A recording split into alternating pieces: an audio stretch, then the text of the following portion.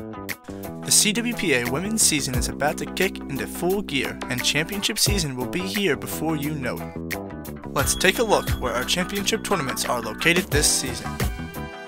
The Division III Championship at Connecticut College on April 16th and 17th. The Women's CWPA Championship at Harvard University on April 29th to May 1st. Last but not least, the National Collegiate Club Championship is heading to California. Hosting this year's tournament on May 6th to the 8th is the University of California, Santa Cruz.